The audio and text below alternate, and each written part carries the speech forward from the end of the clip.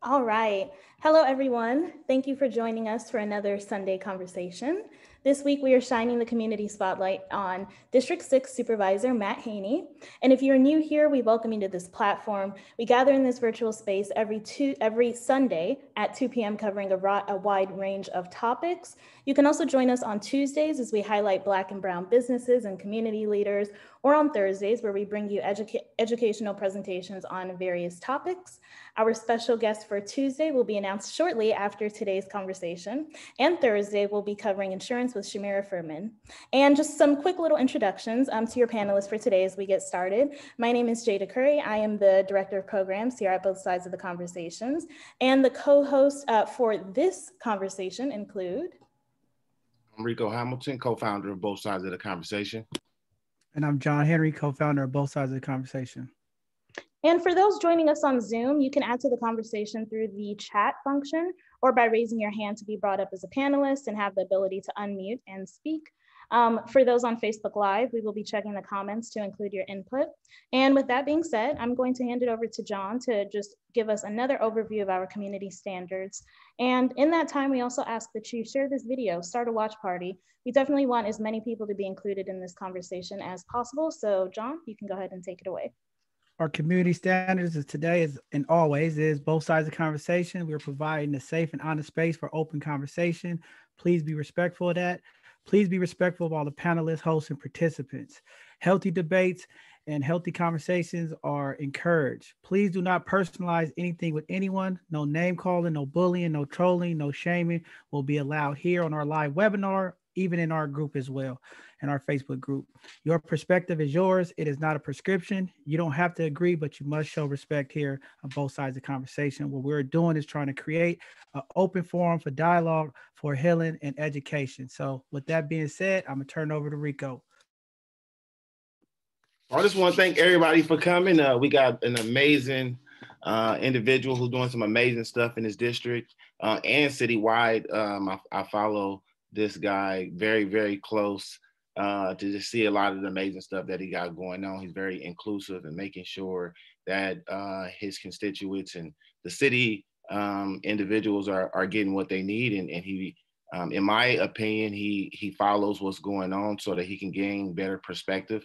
And, and I'm just happy to have him on, John. I think that, you know, the more individuals we can have on and, and kind of just have an in-depth conversation to better know them, better um, educate the community on who these individuals are, the more we get perspective for our city and we, we get good leaders to do the amazing work. So without further ado, I definitely want to introduce our, me and John Guy, uh, Mr. Matt, Supervisor Matt Haney. Thank you for coming on. Thank you for being a part of both sides of the conversation. Thank you. Well, it's it's an honor to be here. Uh, you know, John Henry, Jada, Rico. Um, I get to see you, you, all of you a lot kind of informally, and I see the work that you're doing in the community. Uh, I know we've been volunteering a lot together uh, over the last few weeks, and I see you in District Six all of the time. So it's just really an honor to to be here with you, and also just I want to thank you before we start out uh, for creating this platform. And it's so important that uh, we have these dialogues that we share information. You know too often elected leaders are very disconnected from regular people and co- not everybody's going to tune into sfgov tv and fact, i don't recommend it most of the time because uh, that's not always also where the real conversations are having what is actually going on. And so uh, i just really appreciate um, and actually, the first thing I know, Shamann Walton was on here, and he said, "You have to go on this conversation. They want you on there, and I really want you to go on there." So uh, apparently, he had a good experience when he was here here with you all, and um, I'm just honored to be invited and, and to have a dialogue with you all. No, definitely, definitely, it's a blessing. I mean, that's what it's really all about. You know, we're just trying to be that one extra hub. You know, we have a lot of ways and forms to get in communication to the community and sometimes community feel that our city officials or city leaders they don't get that communication for whatever reason. And uh, just having an additional hub of information going to the community here at both sides of the conversation, we kind of connected to all the districts in the city. So we definitely been trying to reach out to all the supervisors to come on. Um, it's a good way to talk directly to the people um, and answer some of the questions. And um, you know, we're just trying to be respectful. We want to educate and we want to help, right? Bring that insight. Uh, a lot of times, people in the community feel that Um, sometimes the leaders have lost touch or lost the tone and don't understand the real needs. And it's a blessing to have you to come on and really, you know, take some of the information in and give back to the community. And I just want to commend you too. You know, one thing about leadership in, in any facet is it's always about our word. And, um, you know, you reached out to me, you said, Hey, I'll be there no matter what. You'll figure it out. Um, you said you was going to come out to the city eats feed. You was there. You was there on Christmas. You see the need. So that that just shows the people that you get it. You know, you see it. You out there have handing out food, helping them out, talking to the people. And I think that's one of the uh, qualities that I like when city officials, you know, are open because it's hard to get to you guys sometimes through the, the, the, different channels. So just when you do have those highlighted times to be in the community, just to open up, take a second, talk to the young person, talk to the adult, and it's hard, man. But I appreciate you for that. Um, you know, I just wanted to highlight that. A lot of the parents that we work with in the district, uh, in your district, is just impressed about the change, the things that's coming there. So I'm just happy to have you on, man. Thank you. It's an honor. Appreciate that. Yeah, no, Shamann told us that you definitely have an open door policy. Like we we we know about his open door policy, but it's happy to hear that you definitely had an open door policy because many times as community, I might know you and I might be the link to other people. And sometimes things happen, and then that link, there's a disconnect because now I have an issue with someone and I'm not giving the information to them so I just like the way you and Shamann are, are, are have that open door policy when it comes to come on in. You got my number. I'm gonna definitely reach out. I'm gonna definitely support. So I call Shamann for anything. He pick up. I'm like, you know, that's that's pretty cool that you can have folks that you can reach out well, to. Uh, before we get into it, you know, me, Shamann and I have had a, a journey in, in public service together. Uh, both of us ran for office at the same time for the first time, and we didn't know each other. So we basically ran against each other for for school board and um, and and I would hear him talk, and and and I would say, hey, well, they, that's actually a really good point. And we just kind of developed this relationship, so much so that on the evening before the uh, election day, we were out there together, dropping each other's literature together, and um, and I ended up winning that race. But literally the next day, I called him and said, "You're running, you, you know, please run again. I will go all in for you." And then he he started inviting me with his crew in in, uh, in Candlestick at the time and I remember the first time I showed up, they were kind of like, wait, this is the this guy, you know, isn't this the guy we don't like because he beat you? And you know, and Shamann was like, no, you know, and and so he has become like a family member. And then we got to go on this journey together, both running for supervisor at the same time. We were president and vice president of the school board together.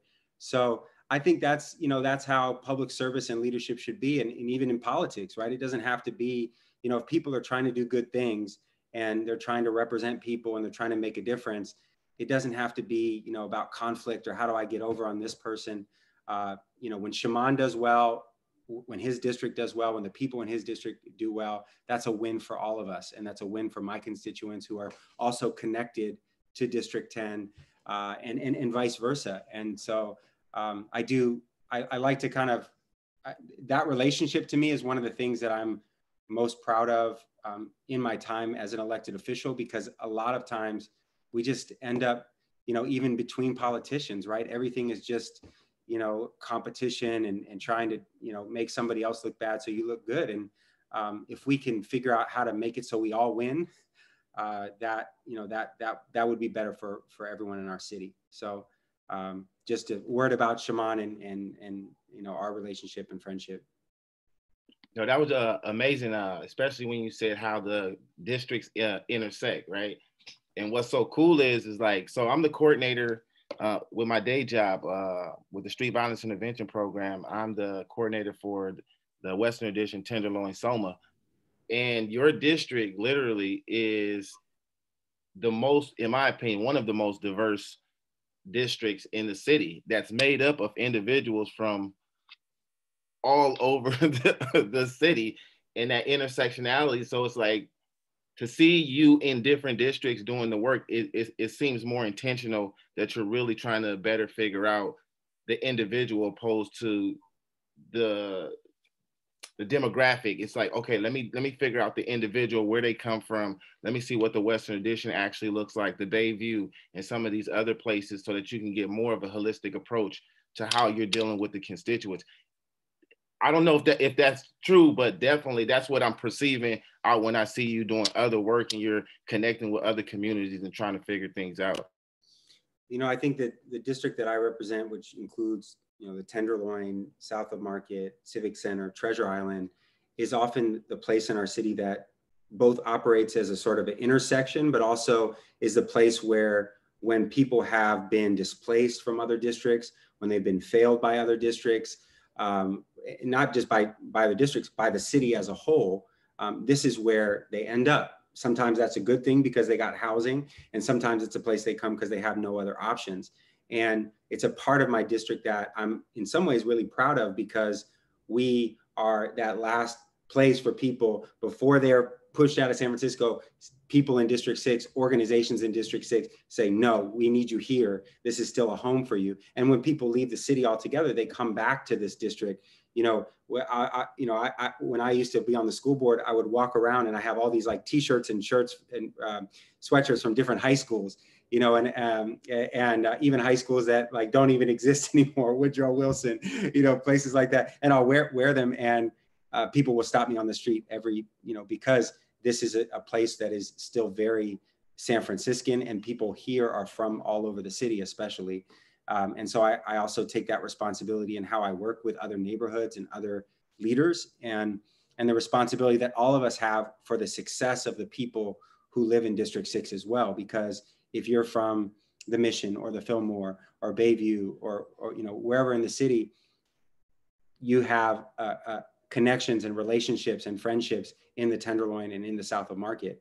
And and and what happens here is, is going to be connected uh, to to what happens there.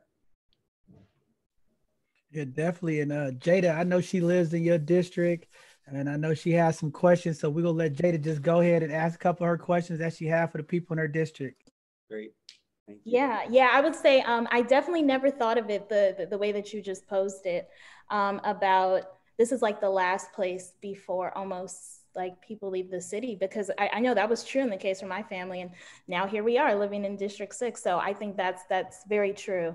Um, and so just a kind of little bit of background on the work that you've done um, so here at both sides of the conversation we've touched upon the topic of like the school to prison pipeline and reformation of the school system and knowing that you um, authored the safe and supportive schools policy what are some of the successes of that policy that you could speak to and, and let us know about and and even about the policy itself for those who don't know.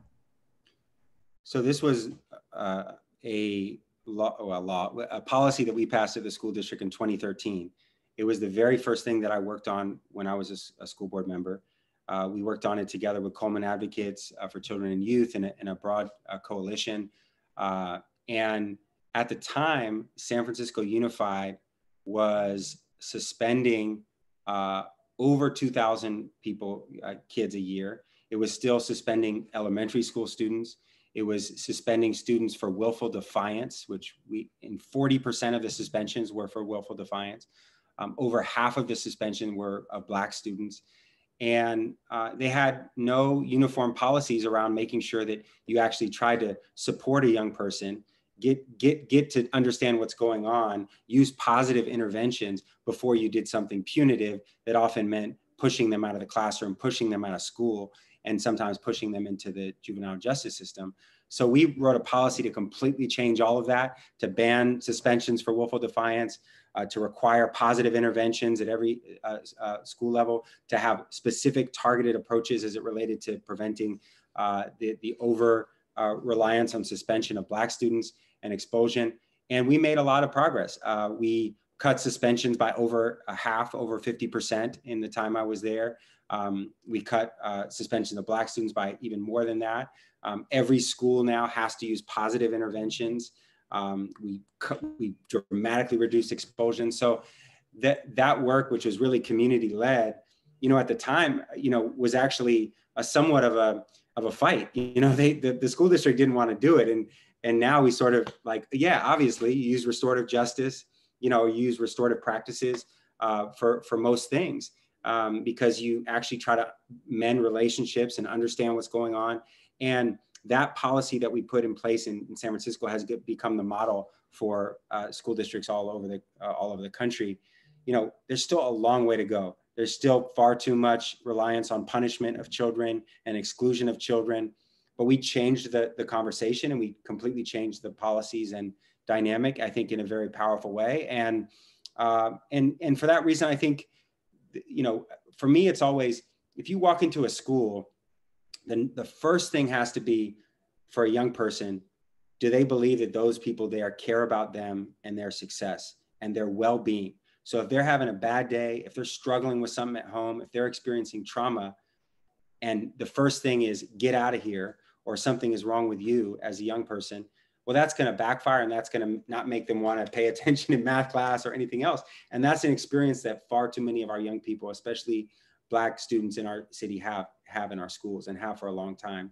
So we made a lot of progress through that. There's a lot more that needs to be done. Last thing I'll say, we we um, I was so excited that Kevine Boggess was recently elected to the school board because that policy was Kevine Boggess and I working together when he was at Coleman Advocates, and now he's on the school board. So that's just like he's going to, you know, take it to the next level as well and hold those folks accountable. So, um, yeah, but I appreciate that that question. If, if people are more interested in, uh, we called it solutions, not suspensions. And there's, if you go to YouTube, there's a 30 minute documentary that was done on this policy by Kevin Epps. Uh, and uh, you can check it out. Uh, it's really, uh, you know, tells the whole story of what we did and why. That's pretty cool. Uh, the the other thing is the flip side of it, keeping that policy intact, right? Because now with the Zoom school, you know, people using Zoom as the the education portal. As we get back to normality and people are going back to school, we have to watch those numbers so that teachers and schools are not suspending the kids again because they can use Zoom as an alternative measure. You know, we just don't want to because now that people are learning how to do the Zoom thing, I just sometimes when things come and play like that, it, it, it sometimes affect the community because then, you know, we'll start suspending kids again, but we'll be using it on the benefit of, hey, now they have Zoom.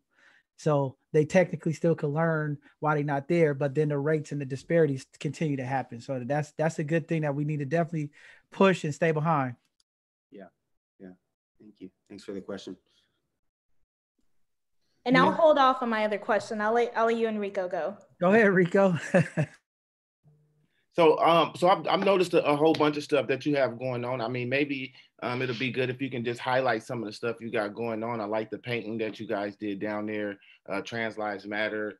Um, all, I mean, like you have a whole bunch of stuff going on, or especially the stuff around the homelessness that's going on down there.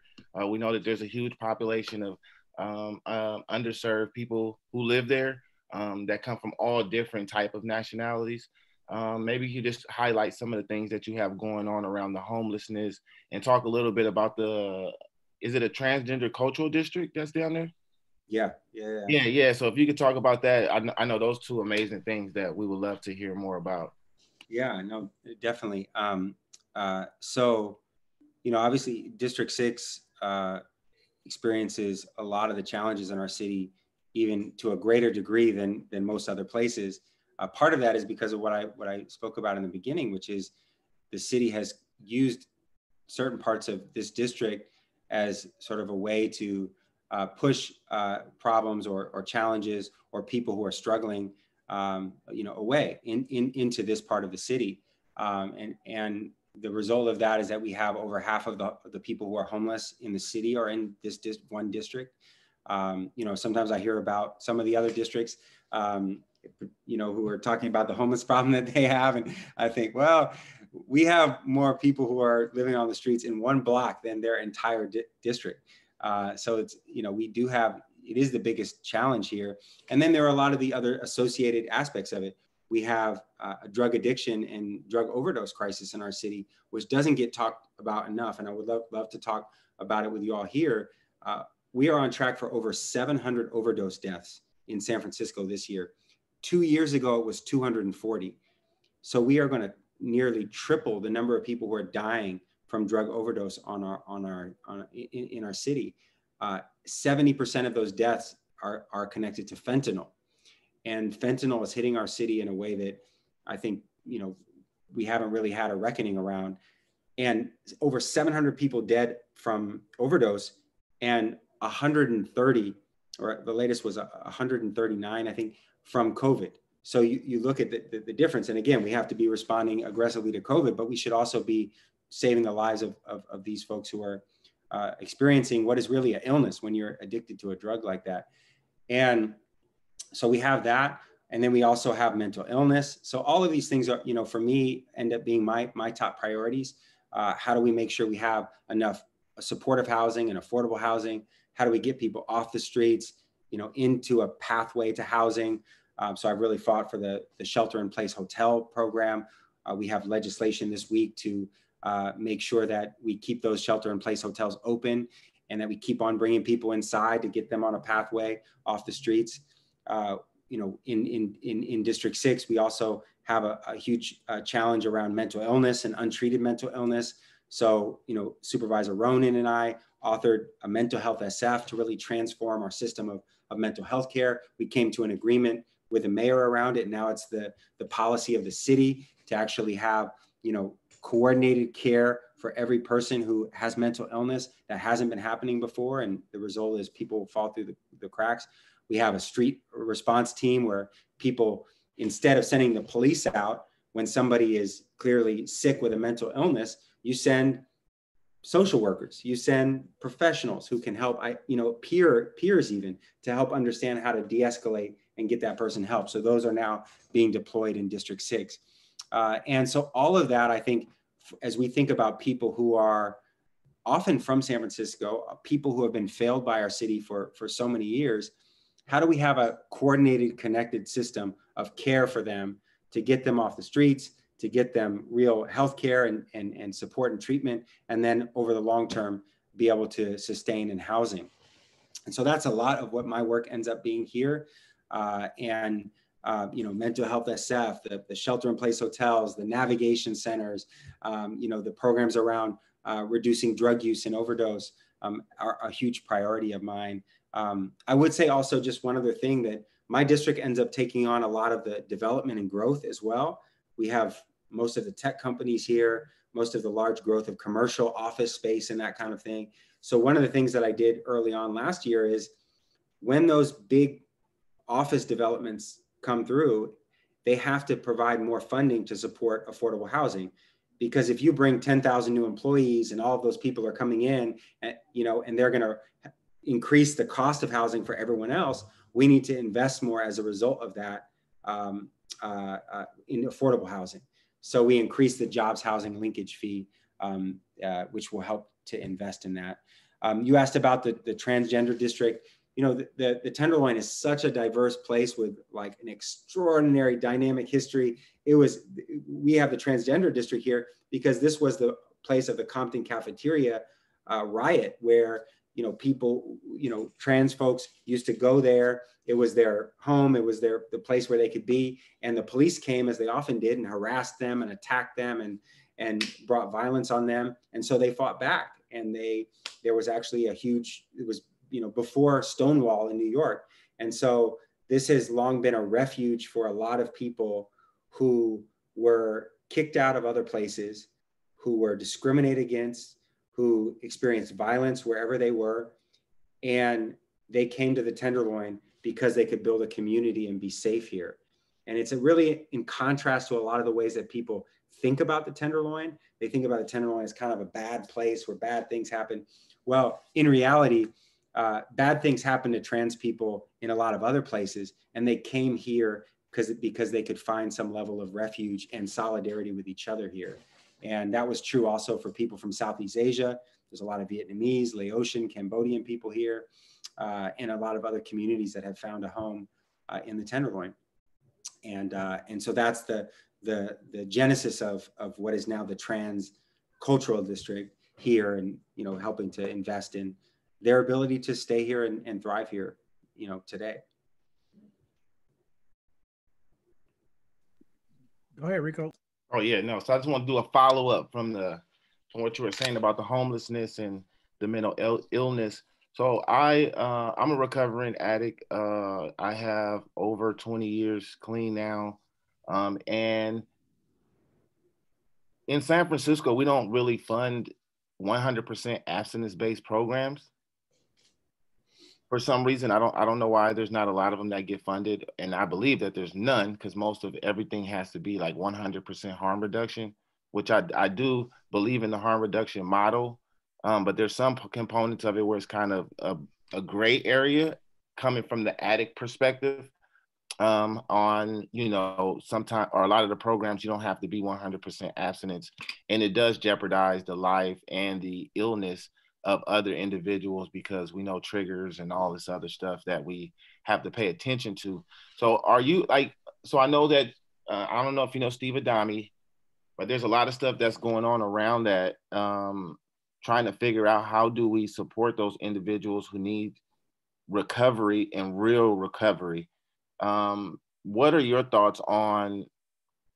Because I, I like in my head, I always think what what comes first, the chicken or the egg, right? So when it comes to mental illness and drug addiction, sometimes the chicken come before the egg, sometimes the egg come before the chicken, and it just depends on which individual you're dealing with. So sometimes it's it's the mental illness first, and then they're using, or it's vice versa. The usage causes a mental health issue. So I'm trying to figure out like how do or what are your thoughts around uh, harm reduction and how do how can we infuse 100% abstinence based programming also because i don't think that it's a one size fit all i think it's kind of like a holistic approach on how we address um, addiction in san francisco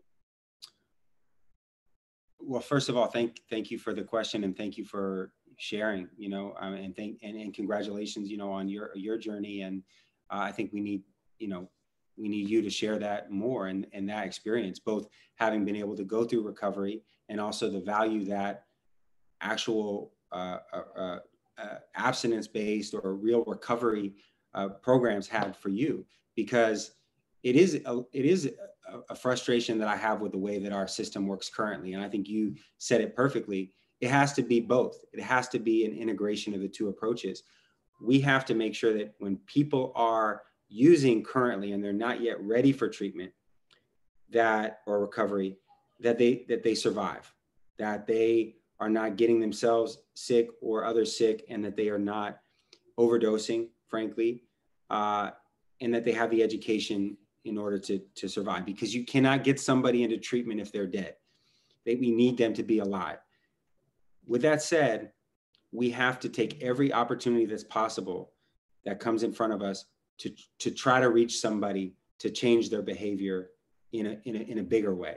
Because what, what we know is that was especially with the fentanyl, you know, this is, we actually, I just had a hearing on this last week.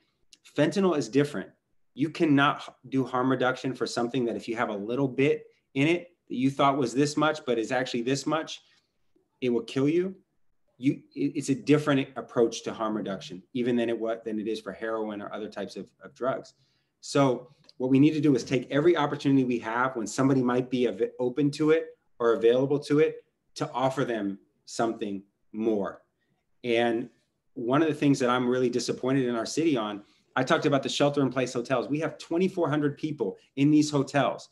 Many of them do have, are struggling with substance use. Every single one of those people should receive counseling and an offer of treatment, you know, recovery based treatment.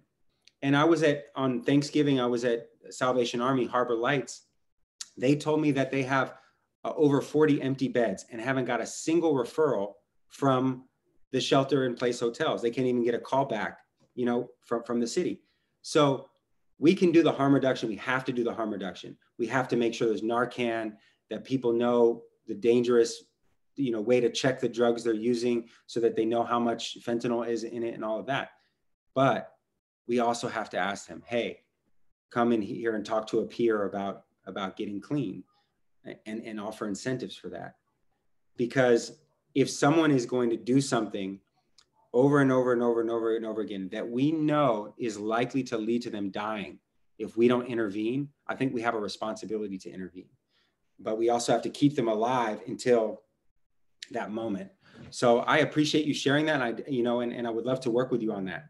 You know, I'd love to, I'd love to talk more about this because this is something that I think is really broken in our system as it is right now. There are people right now, I live on Hyde Street in the Tenderloin. I just walked and got coffee. There were dozens and dozens of people out there using right now. I don't think I've ever seen since I've lived here just people out there walking up to these folks and saying, hey, do you do you do you, do you need some help actually to get out of this? Instead, it's do you need a needle? Do you need Narcan? Which I support too, but can we do both? you know, so right. I, I think that's a valid point. Um, I'm glad Rico brought that up um, because even when you address the mental health issue, and I know you know it's a lot of people advocating for mental health and funding for mental health. And I have to agree with Rico and some of the other people in the community that when we are having crisis, the support and the services are not there. I have people all the time reaching out to me. They call the 311 number. They can't get a hold of a therapist. People are not returning their calls. How do we fix that? Uh, because it seems like the only crisis intervention is when the uh, police make contact and somebody may be homeless but what about the people that's dealing with violence, uh, victim of violence, the families, um, the people? We need people on the street when these crimes are happening in the other communities that they're getting support too, and and having these resources that people could go in and feel comfortable that there's that there's there. You know, they they could get the service if, if it's 24 hours or whatever, and I think that's one of the things that needs to happen um, because it just it just seems like it's a lot of mental health but the results and what, what we hear from the community is just not matching up to what the service providers and the need you know it's just it's some disconnect and we just got to figure that out. So the, the, most of the things most of the things that people need help with or that people need help for their family members or friends with we don't offer which is the, the most ridiculous thing you know? Most of the things are not you know somebody is hurting themselves this moment or going to hurt somebody this moment i need the police. Most things are actually not that most things are also not somebody is physically hurt at this moment. I need an emer- you know a um, a, a, um, a uh, an ambulance or the fire department or whatnot. Most things are more that I know that this person who is close to me is not doing well, and if we don't do something now, it's going to get much worse. And I need somebody to come and help with that. And our system is not right now built for that type of response. And the result is that we end up getting to the emergency level or the fire department or the ambulance or the police when we didn't have to. And, and then using those things for, for things that are not appropriate that sometimes they make worse. You know, when you call the police for somebody who is really just, you know, needs actual help, that is when things sometimes go wrong or, or, or the police actually escalate things. Or, I mean, it's, so I, I really do agree with you. And I think that that's part of what we're trying to build with mental health SF is how do you get 24 seven real time responses for people who are either with substance use or mental illness in a crisis or, or just need to be, you know, through a peer or whatever it is, need some help.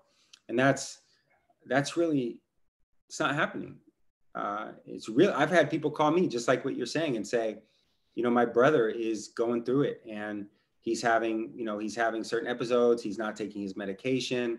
I've called, you know, doctor. I've called 911 and like nobody's helping. And as a supervisor, I have to say, I don't, I don't, I'm not exactly sure who you should call.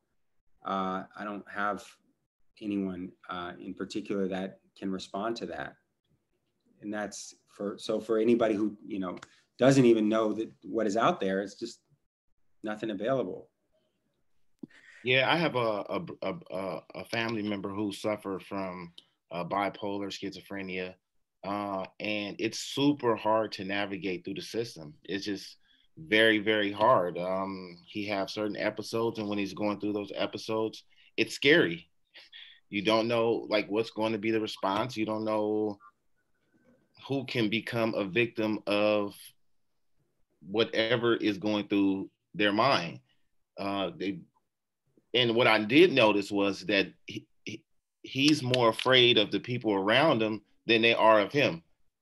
So, you know, certain movements are, and I've learned like over a period of time that I got to be very gentle and just kind of like let kind of support in the way that I can until we can get him to a safe space. But the fear causes the harm because the paranoia is causing him to freak out and go through this psychosis where he feel like everything and everyone is trying to harm him and i think that part of that is even with the drugs because i know that um, uh, folks who use crystal meth, you know, over a long period of time, being up for six or seven days, like it, it puts you in a mindset where now you're seeing things, right? Like the trees look like snuffleupagus, right? So like, you know, I, have been there. So it's, it's connected and it's often connected, you know, um, you know, there, there, there's a guy I've been trying to get help who, who I knew when he was in, in, in middle school. We, we, uh, you know, I've known him for a long time.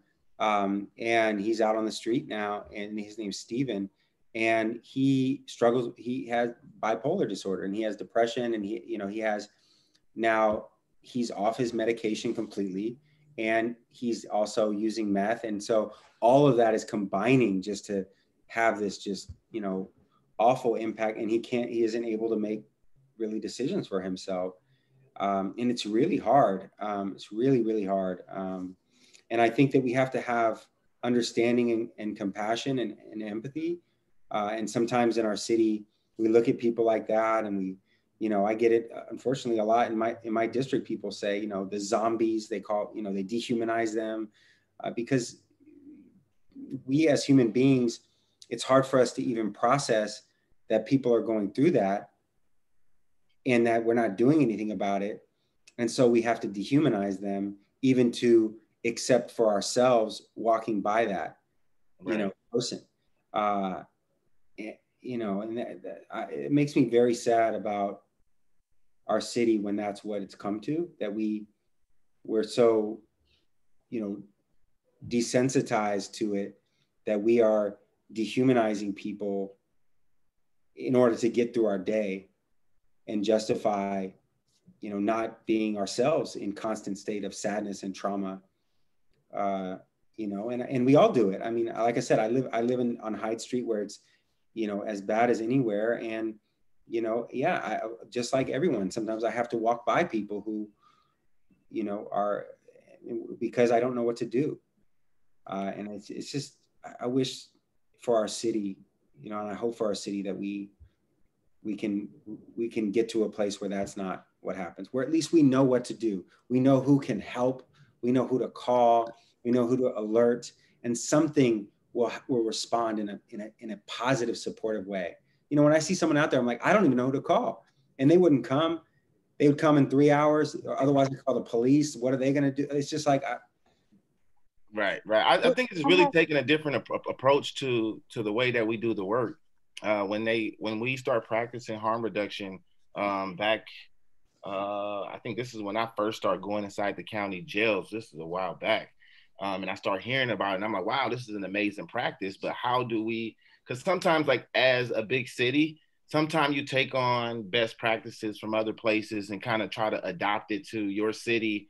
And we know cities are different. Like the individuals the culture is a lot different. So you just kind of like throw it in there.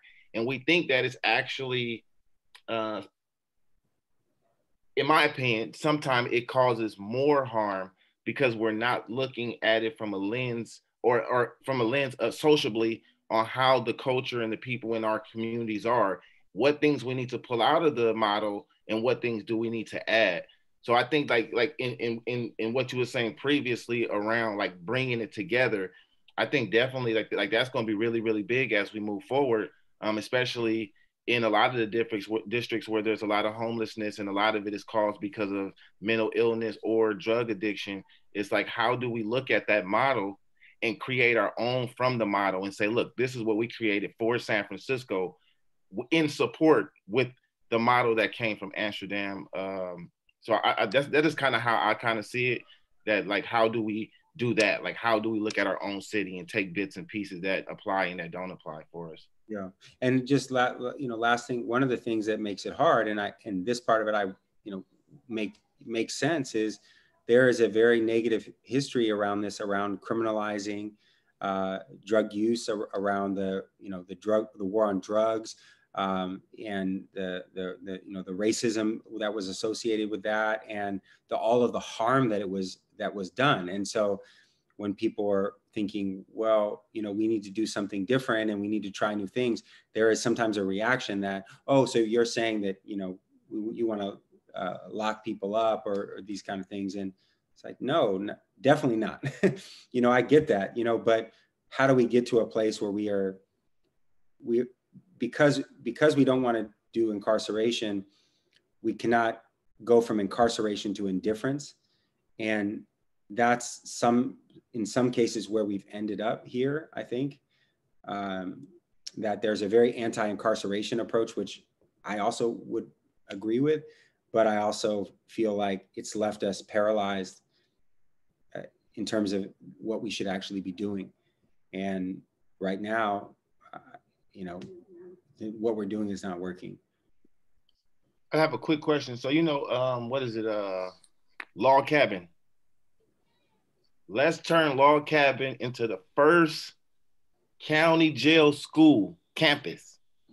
Be just like a uh, uh, uh, enclosed school campus that's just like a college, and instead of imprisonment, it's uh, more of a, a school-based model where they're yeah they have to stay there, or like a boarding school type model where yeah they have to stay there, but instead of them being rehabilitated in a negative way, we're rehabilitating them towards education and empowering them to become something. Mm-hmm. So I just wanted to throw that out there.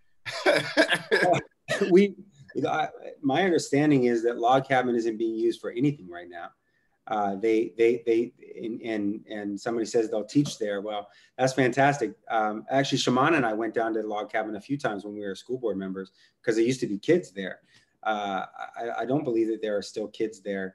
Um, but it could still be used for something maybe for adults uh, that would be a more positive opportunity. And you know, some of the kids who were there did okay at Log Cabin.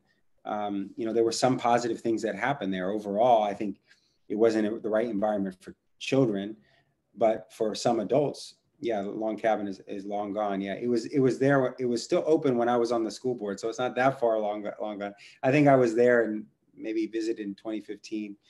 Um, but um, yeah, it, has gone now. But it, uh, but the city still owns it, is my understanding. Definitely. um, Jada, Jada got a couple questions from the group. She got a couple questions as well. Uh, just pulling some of the questions from Jada. Go ahead, Jada.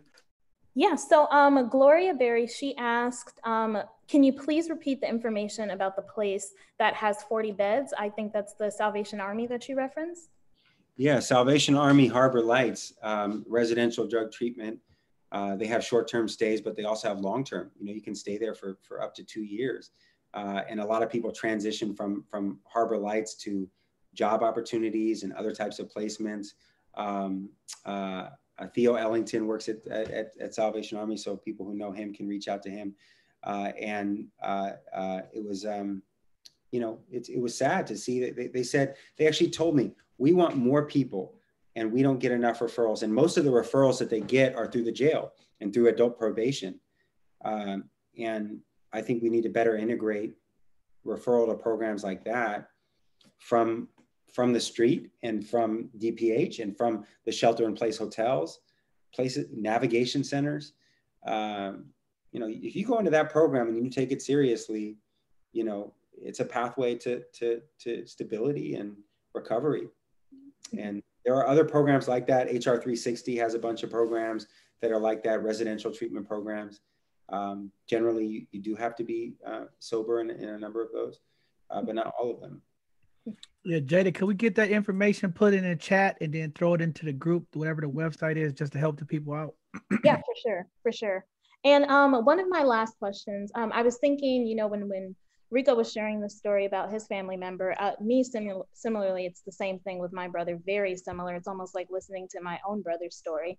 And um, thinking of his situation and you talking about the mental health um, SF initiative, um, how will that initiative work with the criminal justice system? And I'm, I guess I'm asking this question because I'm thinking of like, in the particular case of my brother, how he was formerly incarcerated and he has to kind of deal with the system in a certain way, but it's often not as helpful as it should be. And we're quite often told, you know, talk to this person, talk to his probation officer, talk to, and there's not really results. So how will that, how will that kind of initiative deal with folks who were formerly incarcerated?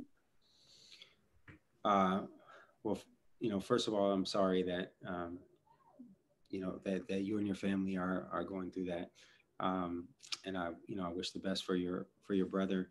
um, you know, uh, I, I, think one of the things that we that that led us to to pursue mental health SF was both the, the way that the, the, the response system on the street was broken and that people weren't being referred uh, to intensive case management. They were being taken to SF General and released with, with just a piece of paper at best.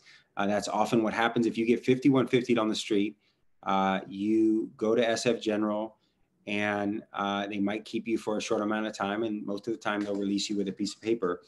Uh, that's it. And uh, and so you see people walking around in their hospital clothes and people being cycled in and out. Well, the same thing happens from uh, jail health services, from from from from the jail. Uh, the handoff that is taking place between our uh, treatment uh, system, our case management system for people who are experiencing substance use disorder, from the jail to the rest of our system is very weak.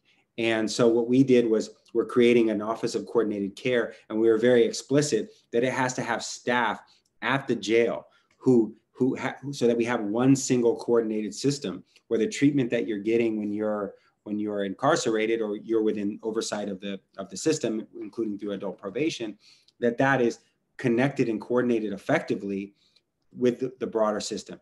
Because right now uh, you know and and the treatment that folks are receiving in the jail uh, you know, in that situation is is is is not. Uh, I don't want to. I mean, the people there who are there are doing the best they can, but it's not sufficient at all. And the handoffs are terrible.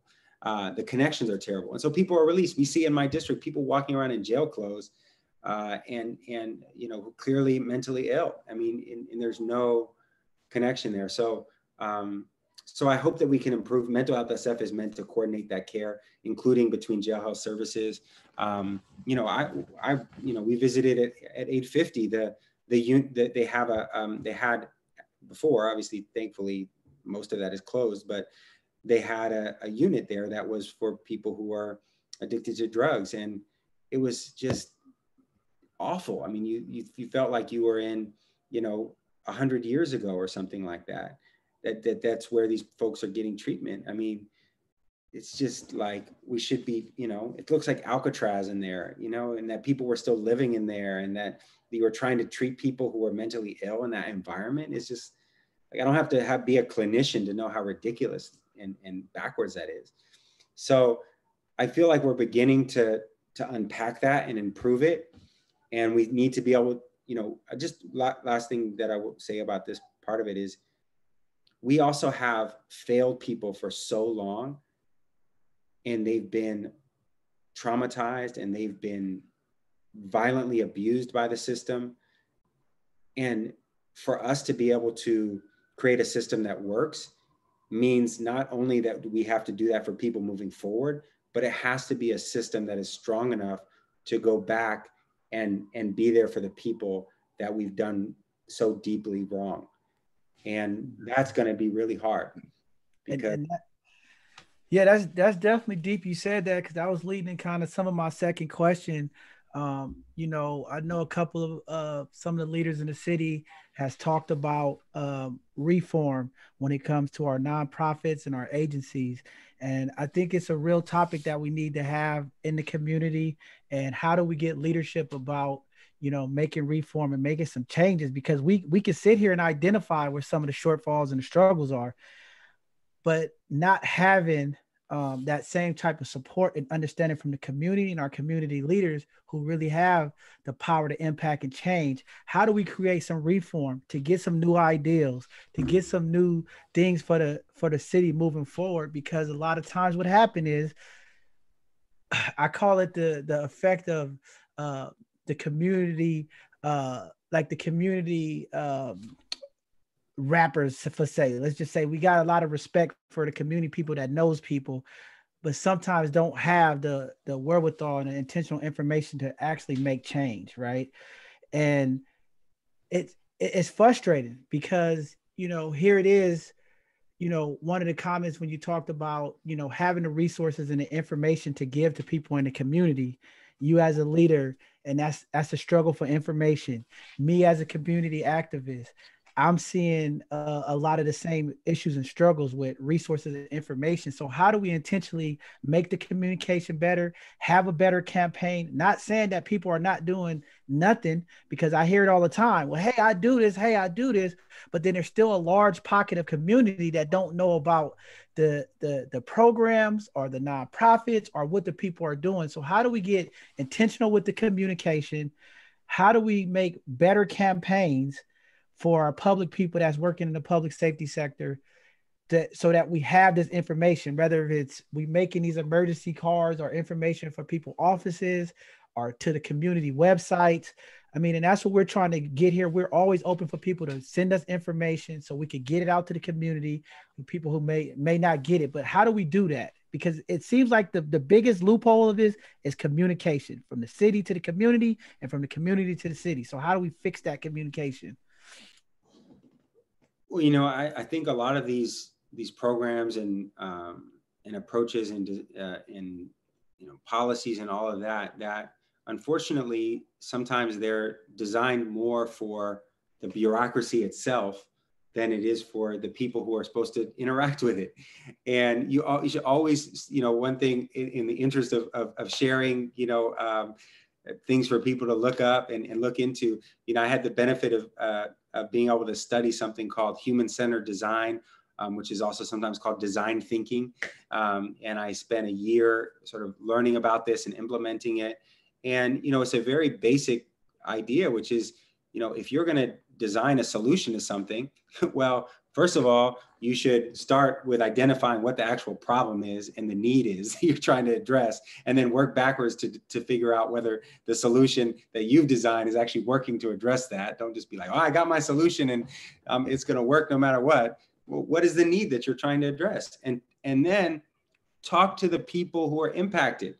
Uh, first and foremost, to understand what the need is. And then if you roll something out, let folks interact with it and then change it based on how they interact with it you know if they if, if they don't see it if, if if you have this wonderful program that looks great on paper and in a pamphlet but nobody shows up and nobody's showing up to those beds like like i told you well then you probably need to change what you're doing to and and when you're changing what you're doing generally what you need to do is get deeper and closer to the people that you're trying to touch with what with an impact who have the need that you're trying to solve for.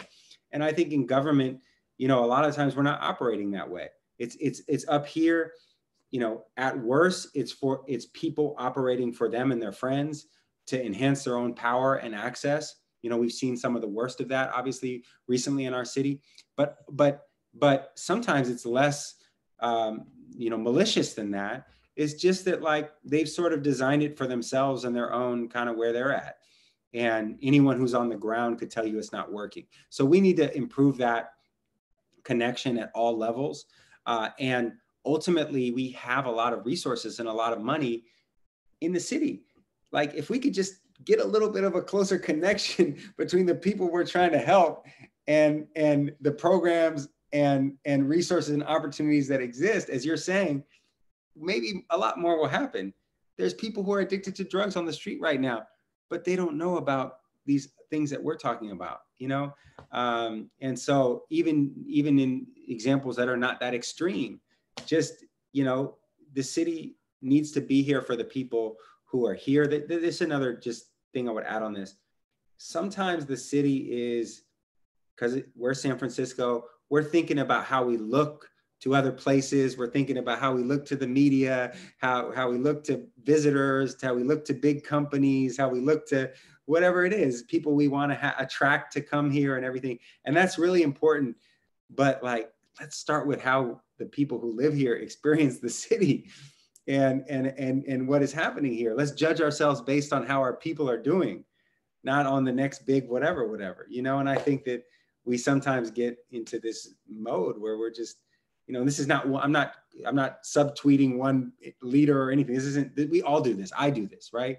I mean, we all do this, but how do, how do we, we, we, we get back down to how our people are doing and, and, and go from there? And I do think, you know, with COVID and, and what is happening here, with a lot of people leaving, and we don't want anybody to leave, but if people are leaving by choice, that's their choice. We should be more people, more concerned about the people who are being forced to leave. But the people who, who are who are here, maybe we have another opportunity now to to really more deeply make sure that they're doing all right and that the next phase of our city and its future are really a positive quality of life for for all of us here.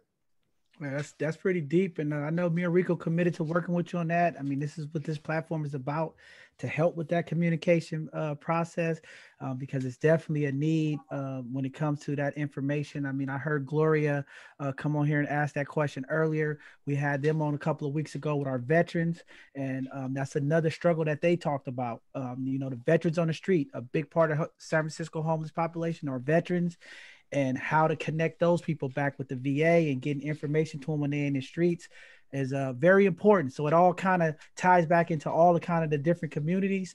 Um, that lack of communication, trying to tighten it up, you know, and there's a, there's a lot of community efforts going on to make it better, and uh, we all are part of it, community as well, and it's letting go some of our ego, passing the torch on, getting behind some of the young innovators, some of the young energized people in the community, supporting them for change, and uh, being open and flexible. I think is a major thing that we need here. So definitely willing to work with you on that, Matt, in the future. And uh, you know, just happy to have you open to different ideals, man. Because sometimes people get in these boxes, and it's those boxes hold us back. yeah. Well, I mean, none of us have all the answers, um, you know, and and and that's another important thing, which is that you know we all have some things to learn, and uh, and and even somebody who's an expert on something, they can only do well on their area of expertise if they're deeply connected to the people that they're trying to impact. You know, that's that's what makes you an expert because you're willing to be open to be taught and to and to and to process information. You know, to me, leadership is about being willing to to to listen and be open to new information and then use that to be better and do better. Uh, it's not knowing the answer you know, at the beginning. you can't just start out and be like, I already know exactly what, no. If you're a leader, are you willing to be adaptive based on what the people that you're trying to do something positive for are telling you? And our systems of, of government need to constantly be reminded of that, uh, including our, you know, elected officials. And, um, you know, sometimes we, we get to a level where we, we're afraid of that, you know, because we think it will show some level of vulnerability you know, well, oh, if I if I if I act like I don't know, then I'm not doing my job or I'm not this or that. You know, it's like you know, you, you know, not knowing and saying you don't know is a part of good leadership because that that that means you're willing to to to do better. So I think that was powerful. That was powerful. Go ahead, Rico. Yeah. So uh I did just want to read this uh, comment from uh, Mr. Nate Ford. He said something amazing. I definitely want to read it out loud. Uh, he said, Supervisor, I have to say that you are a sincere and committed person. Again, I don't know you, but first impression is everything. I appreciate your thoughtfulness and your down to earth approach, as well as being real attitude. Very refreshing. So and that's from and that's from Mr. Nate Ford. Mr. Nate Ford, you know, he's yeah. been one of the pillars in the community over there in the Western Additions and citywide, because I know he deal with youth everywhere uh, but most notably in the Western Addition. But coming from him, you know, it, it's definitely real, and you definitely give that feel uh, that is refreshing. Uh, hopefully, you know, people can look to you um, as what a supervisor should look like, just in terms of like you have a personality that's kind of like I'm open not I know everything. It it, it it's more like okay, wow, I didn't see it that way. How can I adapt to that and and bring it in or hone it in to serve the community that I'm that I'm uh, serving? So, Nate, thank you for your uh for your kind words, man. Nate, I appreciate that. I, I just want to say one thing real quick, uh, you know, because this is both sides of conversation. Okay. Uh, All right. You know, okay. you know we about, we're about we're about we're about having both sides of the conversation and being real um, because you know community has a lot of questions me and rico get a lot of questions yeah. and uh, one of the a couple of the things that uh, um, in the community you know there's this um, issue with with public trust right now, and um, we understand with all of the scandals and different negative things that's happening in the city. Um, I seen your news interview when the city manager stepped down for a while to deal with some personal stuff. Um, and I think that was commendable. Uh, I mean, I know some people didn't really like that that she stepped down. I thought it was like you know the kind of the right thing to do, right? Because coming out of this four years of this presidency that we have right now, you know, how do we bring back the ethics and morals back to our city elected officials, to our politicians? Um, because there's a there's a distrust in some of the community. We don't. Uh, a lot of community feel that uh, the, the the officials are not, you know, holding by what they supposed to and delivering so people don't trust the trust what's going on right from especially when you start dealing with the stuff brought over the news with, with corruption different things how do we bring back that peace how do we bring back that that uh, and, and remove that anxiety from the people that hey there are people here trying to deal with the issues to make things better um, because I think as a city, I think as a country, we need that because the ethics and the morals right now, when it comes to politics, politicians, and, and, and our elected officials, it's, it's, it's very shaky. And I think the community is having this disconnect with our with our leaders and don't want to engage. And I feel like uh, accountability is a lot of it. And I appreciate a lot of our leaders stepping up, taking accountability when things um, go wrong but how do we put that back in there and get that trust back that you know we're all as leaders working together? Because i think of the, my ideal of um you know when we educating people me and rico we have a, a mentoring program here. We we think about how do we teach our young people right? And and it's seeing us do the things we need to do. So as officials how do we behave and unite and work together so that the community see it? Because i think sometimes in the black and brown community we are people show me people. We have to see it to believe it sometimes. That's just kind of our cultural thing. And sometimes when we see dysfunction within our our, our leaders i think that that dysfunction rubs off to the community as well and have some dysfunction. So how do we tighten that up to let the people in the community know that no we unified there's differences there's always things come up. But how do we unify so people understand that you know we have some leaders that's taking charge. Well, uh, I appreciate the question. I do think that uh, you know there is a there is a, a crisis of, of trust in in political officials and in government. You know that's been there for a long time, and I think that you know Donald Trump has made it worse.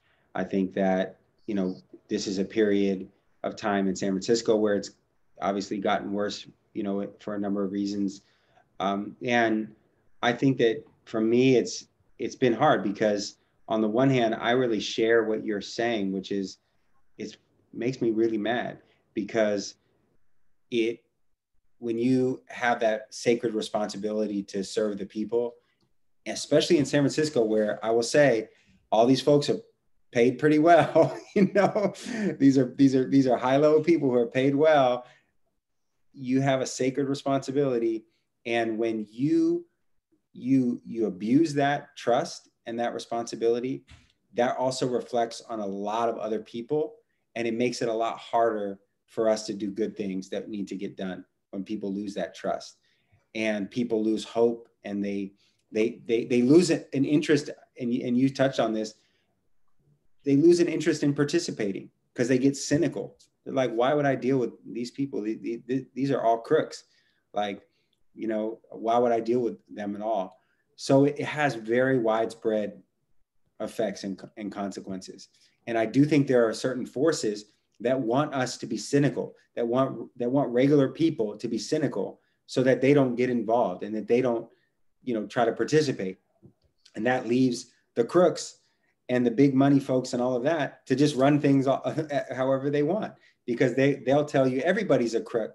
Well, if if you think and the people who are listening think that everybody's a crook, then the crooks are going to win because they just run things. There's no there's no real people to come in and try to actually participate and make things work better for the people. So I do think that we we can do better and part of it is what you're doing here which is the access and accountability with officials whether they are elected officials or or other members of our government so that they that we're actually required to say, well, what are you doing? What do you, what do you think about this? Do you actually have solutions? Um, and how are you showing actual results? Uh, you know, and, and then and then I think that you know this is a bit of a again a an inflection point for the city and county of San Francisco, both with regards to what's happening out with COVID and, and how that's affected the city, but also with this moment for public integrity and, and ethics. And I, I hope that the set of people who come in set a new a new and, and I don't and I don't there's one thing I'll add it's not just about the people who are being charged with the FBI and all that if you look at one of the things that, that is also happening right now the the the black city employees have been coming forward suing the city challenging the, the structures that have failed them for years and basically whistleblowing on the entire broken structure of, of, of the corruption. And so it's not just the what's happening in the news and all of that. There's actually a whole process right now that is going on as relates to everything you've been saying. This city government should be connected it should be accountable and it should work for the people. And that that that's like not too much to ask you know um, so I, I think it's an ongoing thing but i just as i said i do think we have an opportunity right now and i think that it comes from more sunlight, from more accountability, more participation, like what what we are doing, you know, here. No, definitely. I mean, yeah, I mean, it's scary. You know, I read the article with the, uh, the you know, the person that held those accounts when people make claims and, um, you know, people complaints were thrown away and different things of that nature. And it's just like, yeah, uh, you know, reform. It's a lot of change.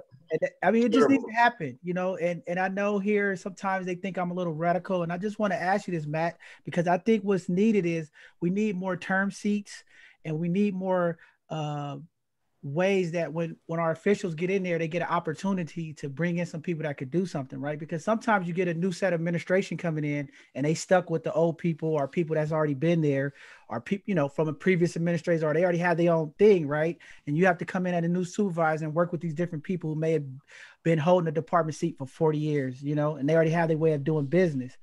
How do we make it where these seats some of these because because my my belief is this if it's a public seat the public should vote on it.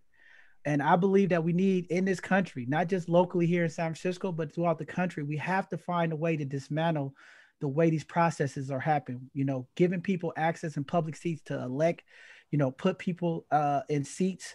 Um, I think it all should be voted by the people, and we shouldn't have no lifetime seats. I mean, even when it comes to the federal judge level, because what happens is some of the core issues in America with systemic racism is tied to those seats our constitution and things of that nature. And we have to be able to to adapt and change to make it more effective for the people and the times we in. And i know term seats get mad at a lot of people get mad about when we talk about term seats um, because this is people livelihood. But again uh, my perspective is you know what you're getting into when you come into public seats and we need to keep the ideals and information fresh so we don't get stuck with 100 years of the same things that's going on. And it, it's just being real you know you, you look at our country right now, the same people 50 years ago to now, and it's like, what did we change? The same house and it's not changing. And it's time for in our politics, this, this political environment that we in, it's time for the community and people to step up and ask for change. We need something different. And I just think it's it's it's it's, it's this is the time when everybody's talking about reform, defunding, whatever it is, diverting funds, however they want to pronounce it to make people feel comfortable.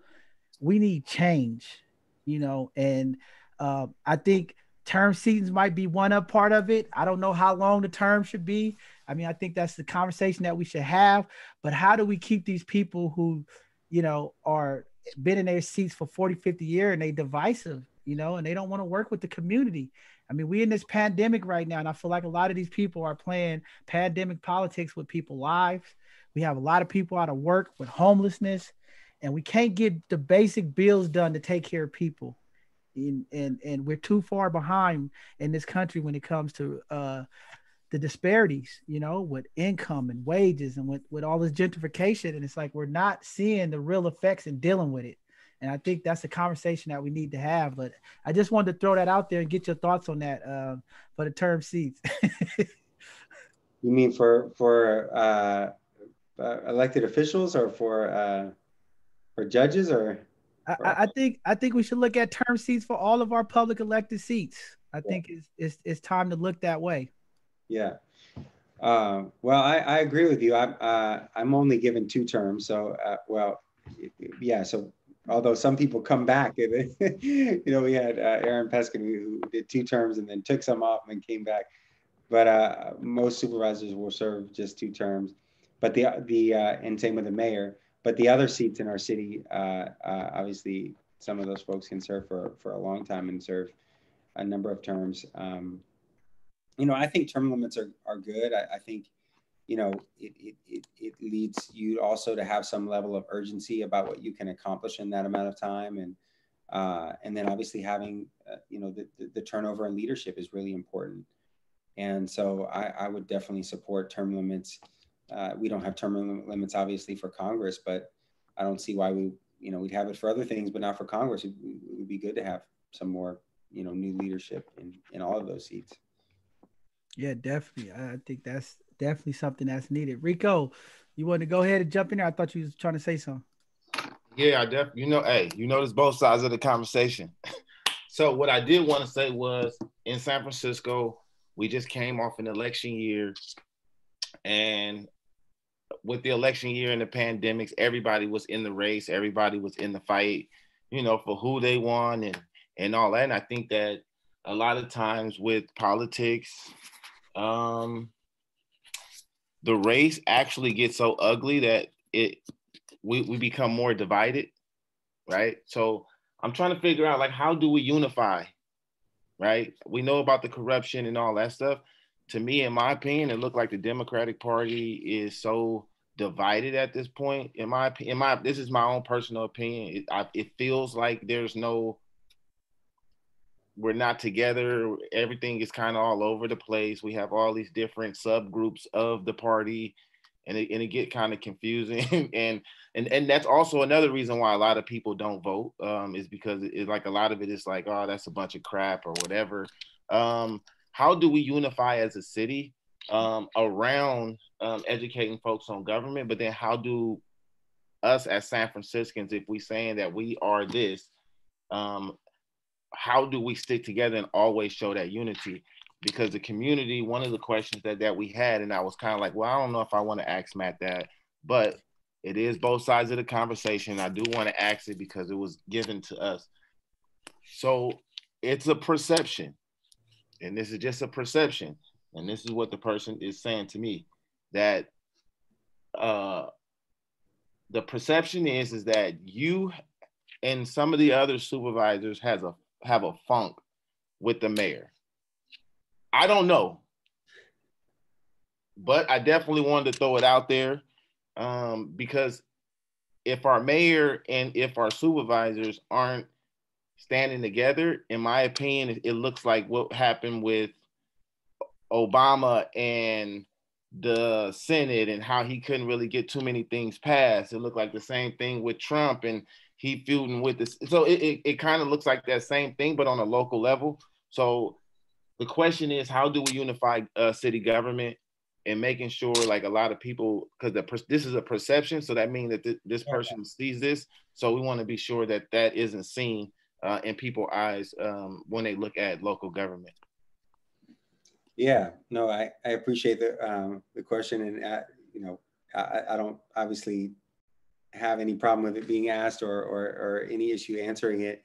Uh, so I, I do think it is it is an issue in San Francisco where we are we are more divided than we should be because ultimately there is very broad agreement on what we're trying to accomplish and who we are and what we care about. You know, we the differences between us are very small uh, generally when you compare to other parts of the country that, you know, where in a lot of parts of the country, it's like, you know, there, there are people who, who are, who, who actually think to say Black Lives Matter is like a terrorist thing or, you know, it's like for us here, it's like, we're all, you know, but so the responsibility that we have is then in San Francisco is to take the things that we say that we're about and the values that we share and turn them into outcomes and results and real solutions for our people here. And I think that sometimes when we are fighting so much or and, and even if it's if it's a perception that uh, that that the outcome of that is that it actually makes it harder for us to deliver on those solutions together and it makes it harder for us to work together and so i do think that we all have to do better on that uh, you know i i you know to answer your question in part i i also have to balance that and i take that responsibility very seriously i have to balance that with the fact that the people that i represent in district 6 have been failed in many cases by the city and have been excluded and left behind. And all of the questions that you all have asked about the lack of accountability, the issues of ethics, the issues of lack of responsiveness, right? Like, like, so I have in some ways developed a reputation of being kind of kind of hard on the city government as a whole, which is often the executive branch. You know, you know, it's not for me, it's not personal, but you know, for, for the Department of Public Health to not, you know, to, to be releasing people out into the street from SF General with a piece of paper, uh, that makes me mad. You know, that, that, that, that is something that I think I have a responsibility to channel on behalf of the, my constituents, the, the, the, the, the, the anger and the frustration with the failures of government. Uh, and, I, and I do think that especially with my district and in some ways with you know the person who's going to represent district 10 or district 5 or the, the, parts of our city that where they have a lot of people in their in their district who have had that experience with government that i'm going to express that and to me that is not that is not about who the mayor is and honestly it wouldn't it wouldn't really matter to me who the mayor is. part of my job is to bring that, you know. And if it would have been Jane Kim or Mark Leno or whatever, I was gonna, I'm going to bring that because if if if I'm not, then I'm not doing my job. But also a part of my job is to work together and try to solve these problems together wherever and whenever we can. And I gave the example of mental health SF, where we had our proposal and the mayor had her proposal and we fought some publicly. And then we sat down and we said, let's do this together. We're all on the same page. And we both support the same funding proposal for it. And it's, we're, we're, you know, and there's going to be disagreements and such, but we are moving together with a solution. So I think that that's always where we want to try to end up, but also we have to stand up when we feel like government is not, you know, working for people. So, um, you know, and, and, and the mayor herself, I've, know, I've known the mayor for, you know, 14 years probably. We, we used to organize together and do events together and volunteer together for, for years and years. Um, there is no, you know, personal uh, animosity in any type of way, but as I hope you can, you know, you, you can understand is for for my district, for the Tenderloin, for South of Market, for Treasure Island, especially, they they need um, somebody who is both willing to work for solutions and also willing to stand up and say something is not right and to call people out when necessary necessary and be righteously upset at the failures of for, of people. And i'm trying to balance that. Um, but uh, i hope that we can get you know when you talk about unity there's no question that di- that disunity that that division especially here where we have so much in common is is ultimately not going to get us to a better place and it's going to make a lot of people not want to be involved. It's going to it's you know we have to be bringing people in not pushing people away from from the public process here. And i think a lot of times you know it's the leaders but it's tough. There's a lot of money here you know and the money comes in and plays a role too. There's millions and millions of dollars. You know i had a million dollars spent uh, for my two opponents some of which was used to attack me when i was running and in an independent expenditure. And you know that make that's that's that's hard when you go through that right? Some of it was from the police officers association and all of that. So when that's always there the, the money also the big money causes some of the division that i think if that wasn't there we wouldn't be in those type of fights because the money the, the big money comes in and fuels the division you know 20 attack mailers you know that exploit all sorts of fear and stuff you know a lot of it is coming from them not even coming from the, the elected officials themselves yeah because uh, those um elections get brutal. they get pretty, they get pretty brutal. They get pretty brutal, uh, and it, it it it divides the community. Um, not just the individuals within the community, even the relationships with the potential supervisors or whatever, um, because we all have our own opinion who we perceive to be the the pick. But sometimes those mailers and sometimes the fuel that's being added. Now I don't like you because you're with this opponent, like you know, and and, it, and then when it's time for you to serve, there's a awkwardness that's kind of like, mm, I don't know if I want to work with that guy, or I don't know if I want to work with this person. So, you know, yeah. like how do we get past that? It was an election, it's a part of the game. Now it's time to move forward, and now how do we work with each other? I, w- I will say, which hopefully gives people some some level of uh, you know perspective about it, is that um, at least for this board of supervisors currently, uh, we don't have a lot of that either with each other or even or even towards the mayor. I mean, there's the public sort of back and forth and such, but you know, if the mayor or the mayor's office was like, we need, we have something we want to work with you on, or we want to talk to you about, or we need a quote, or come and meet with us on this thing, I'm there. You know, like it's where you know, and similar even with some of my colleagues who either supported my opponents or I supported their opponents, even in this current election, but they they won we're fine. Like, uh, you know, we, we, we, we will sit down and work together and we're already working together. And so it's always there, but I will say that I feel like there's some, some more positive aspects of it than even than it may seem publicly. Like, I think that we are all actually have done a decent job of, of looking past some of those sort of, you know, even political battles that we fought with each other. Um, you know, I'm no hard feelings between me and anyone else, and and I think vice versa um, on on the on the board.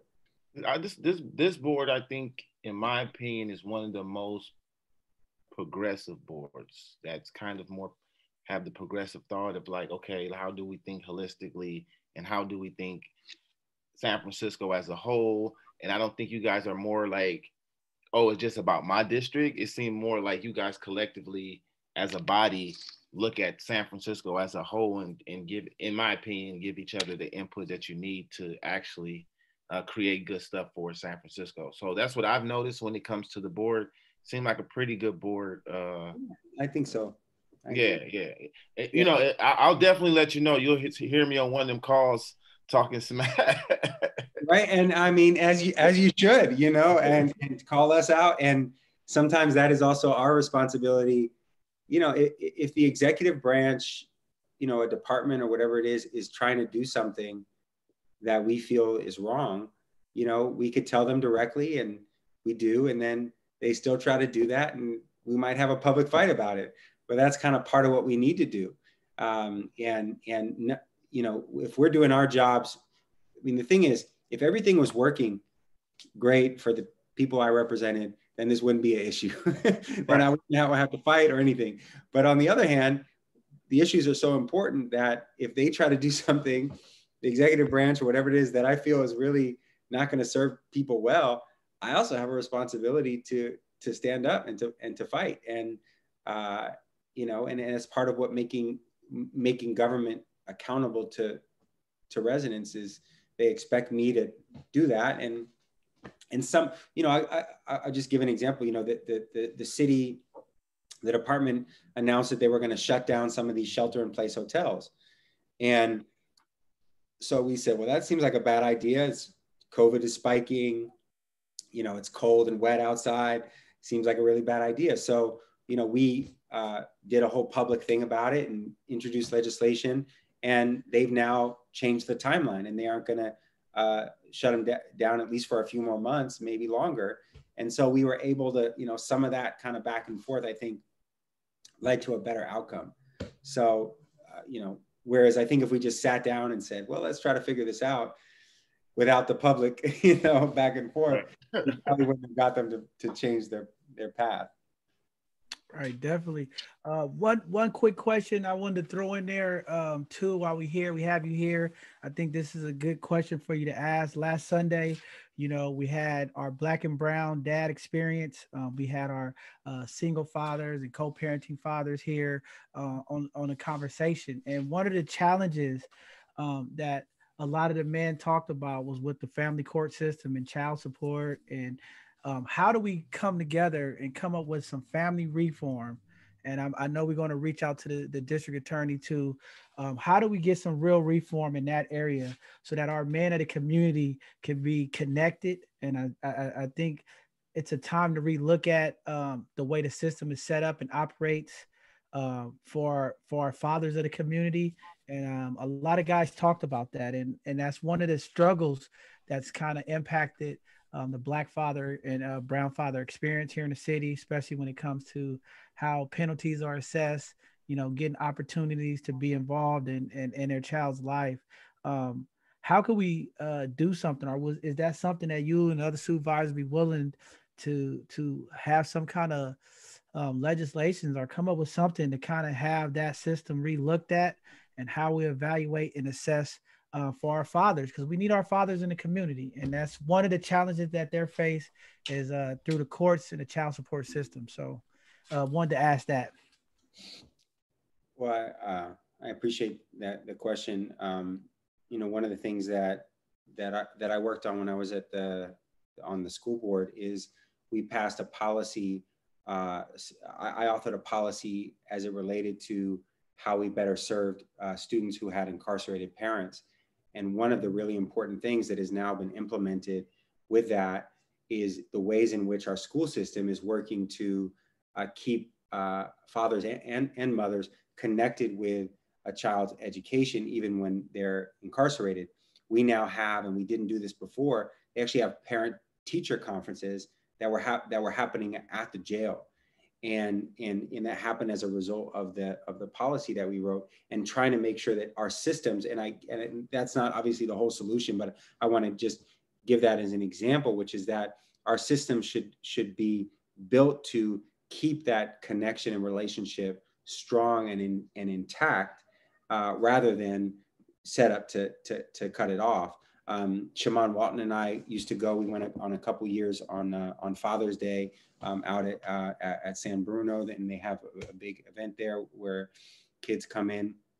Now, what I think uh, another aspect of it, and, and, this is just particularly on the on the um, issue of the uh, impact of incarceration, the the there was a recently a, a state bill that passed that is is I know that our DA is implementing here, which relates to caregiver courts and actually having a special set of you know a judge who ha- who who has a special set of tools at their disposal when somebody goes into the system who has a child or in custody or partial custody of a child should be dealt with differently because the incentive should always be not to separate families where, wherever possible but then, and what you're speaking to is after that, when, you know, how do we make sure that the policies that exist, particularly as it relates to sort of post uh, uh, penalties, child support related, actually are trying to support families to stay together and support fathers and mothers to be with their children and be able to take care of their children rather than putting more and more and more penalties and more and more and more fines and all these things that actually make things way worse.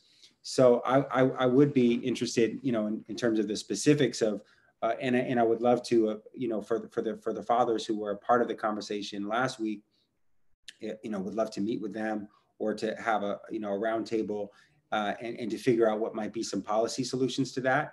Because I think that very often these systems they actually make things worse because they create more separation. They they add to the you know they, that they actually are the cause of of the hurt rather than being a part of the healing and the and the and and, and building up people's relationships with each other. And that's i think what you know you could you could shut down jails and we will and shut down juvenile halls and we will but if the system still is built in a way that's built around punishment and blaming and penalizing and separation, it's going to find a way to still do a lot of harm rather than find a way to do more good. Yeah, that's cool. I see uh, some people in the comments. Jada, we'll let Jada go ahead. We got like 30 minutes left or a little under. Um, we want to get some of these questions and answer. Um, I did see a comment from Cheryl Davis. She said Karen Rowe uh, from Child Support Service will be interested in a project like that. So hopefully we can get you guys connected and uh, Shamann and a couple people because we know in our Black and Brown community the dads are affected, and um, just trying to make the experience a little bit more uh, transparent and sustainable so we can yeah. get our dads our dads involved with our youth because I think it's important. However we do it, I just think that's something important. So with that, Jada, go ahead. I see we have some questions and answers here that's in the chat. If we could get to those, and then let's try to grab some of the comments from the group um, because it is 3:30 and we got 30 minutes left. And Matt, thank you for being patient. Um, but we want to try to get through this real quick and make sure we try to cover as much as we can, Jada. Yes. So the questions that we currently have on the um, the the, the Q and A on the Zoom have for the most part been answered. Are there any particular ones that you see on the Facebook Live feed? Uh, let me see. I, I see Nate said something about the nonprofits at the bottom that we covered that. Um, uh, Uh, I just see people talking about the Black City employees. I see Gloria said something about that. I think yeah, that we could I could ask them that too. Um, you know, with this pandemic, Matt, um, a lot of the city employees are uh, getting hit with notices and layoffs and uh, cuts for the uh, pandemic. How do we help protect our, our city workers um, with, with, with benefits? Um, I know a lot of the, uh, I, I know a couple people from the MTA reached out to me, and uh, some of their struggles is, and some of the other city departments is, it seems, and this is the perception of some of these African American city workers, that a large number of the African American and, and, Latino workers for the city um, are not getting, you know, the full time employment. Um, they're getting hired, put on as uh, temp workers, and um, when when things happen, they don't get the same benefits because they temp workers um, that disparity seems to keep coming up across our country, uh, where this is the new uh, perception of uh, large corporations, city entities, and and, and uh, uh, employers that that's the game around you know not giving full employment, uh, making people part time to have numbers to say, hey, we hiring black and brown community. Um, but they're not getting the benefits of full time. And then with the pandemic, it seems like um, the resources to help support some of these departments to keep up and running is not there. Is that something you could speak to, or um, or is it things going on behind the scene to help um, fix those issues? Well, it's it's finally being discussed, I think, a lot more publicly, and uh, each of the departments now is is required to be more transparent about their data, come up with plans to address the inequities in their department. Uh, really, you know, you know, these are the kind of things that in the past they might have gotten around, you know, and hidden their their racial inequities by part-time employment and those kind of things. Well, now, especially, you know, we have an Office of Racial Equity, and I know, um, you know, under the Human Rights Commission, I know uh, uh, Director Davis was on and maybe listening and doing really incredible work there uh, to, to, to make sure that uh, we are we are we are holding each department in, in our entire city accountable. There was a hearing a few weeks ago where each of the departments had to present on their data and then also present on their plans to address it. And you know what what what, what we saw was something that black employees have been saying for a very long time, which is that black employees are paid less, they're promoted less, they're disciplined more, uh, that you know that they're less likely to be in, in leadership they're more likely to be in part-time.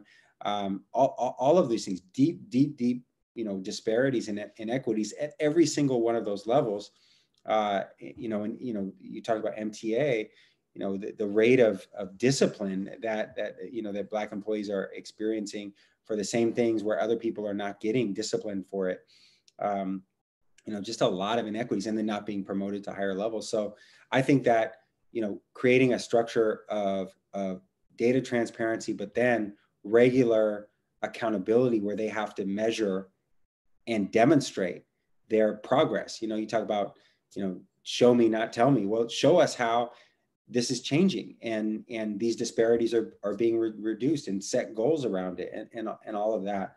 And so I think with the Office of Racial Equity, we have a real opportunity to do that in an ongoing way and, and for folks to really be held accountable. And I think that at, at, at our uh, Department of Human, uh, Human Resources and our you know, EEO and all, all of those, that there's a there is a set of kind of I would say reckoning that's taking place around the ways in which those uh, structures have not uh, been effective at a deep level in in in, in changing these cultures and, and outcomes. And I know that there was a, um, a commitment also made by the mayor on in a number of different things. There were six or seven sort of clear recommendations and commitments that the mayor made on the on this. So, you know, we have we have to stay on it and not just move on to the next thing. You know, I think that's a real thing. Is sometimes it's like, well, this is getting attention right now, but then, you know, five months next year, we're not talking about it anymore.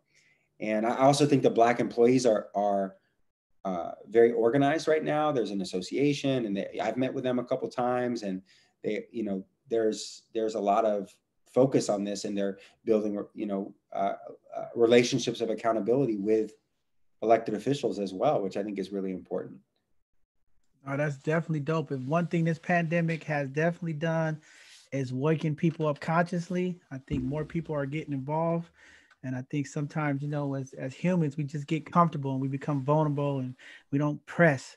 And I think um, now with people being a little bit more willing to be vulnerable and not being so comfortable, um, it's bringing organization, it's bringing some communication, and uh, able to work with you guys. So I think that's uh, pretty pretty important, and that's some powerful stuff you behind. So definitely want to get behind you and the Office of Racial Equity and making sure that these things is actually happening because it does us no good when uh, we get we see it from all over the place. These uh, corporate letters and different departments putting out emails saying we support you, Black Lives Matter, we support the movement and uh, we need it to actually be tangible where we can see it where people are actually making change. So definitely uh, think that's important. Uh, jada you want to grab some more of the questions? What else do we have out there? Yeah so um, one of the questions i have which is also a question um, kind of similar is uh, going into the new year what are um, sorry, what are the things that you are looking forward to uh, for the whole city, for even D6? And then this kind of ties in, um, Ms. Tichele's asking, Matt, what are you doing for Christmas and Kwanzaa? So plans looking ahead. uh, well, for, I guess I'll start with what am I doing for Christmas and Kwanzaa um, and Hanukkah. Also, we're in ha- Hanukkah season now. Um, unfortunately, I uh, am likely not going to see my family. Uh, my family is local. Uh, they live in San Francisco and some spread around the Bay Area. And uh, so I don't think I'm going to see them in person, unfortunately. This will probably be, well, it won't probably be, this will be my, the first time, as may be the case for many of us, in my entire life uh, that I have not been with my family for the holidays. Um, and uh, so, that, you know, but we have, Zooms set up. We have Zoom celebrations like everyone else. Uh, my grandparents are 93 and 91, and my and they live in San Francisco. And my grandma is is is is um, my grandma's turning 91 actually uh, next week, so we'll have a Zoom party for her.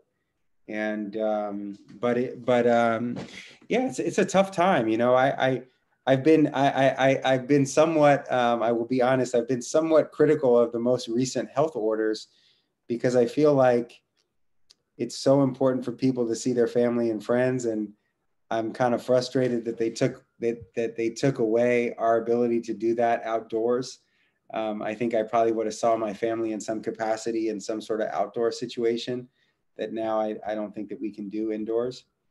Um, so I think that's hard. So I, I, I, like many people, have experienced the, you know, the, the challenges and associated with not seeing our families. You know, it's really hard.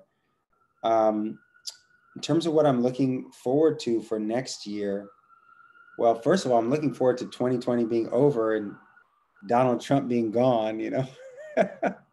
I'm looking forward to inauguration of, uh, of a new president and vice president. Um, and uh, and that's really really exciting. Um, you know, I, I, I, it's funny. I, am looking forward to having a year maybe without an election.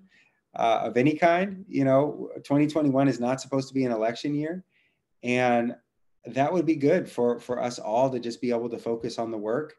Um, I'm looking forward to hopefully having the vaccine come and be distributed widely, and having kids be able to go back to school and um, businesses being able to reopen and, and just the work of rebuilding uh, you know for all the folks who have who have suffered and sacrificed so much this year i just want to you know i want to see that i want to see people come back. I want to see people who got hit really hard this year and who right now are, are still suffering do better next year and have the opportunity to do, to do better next year.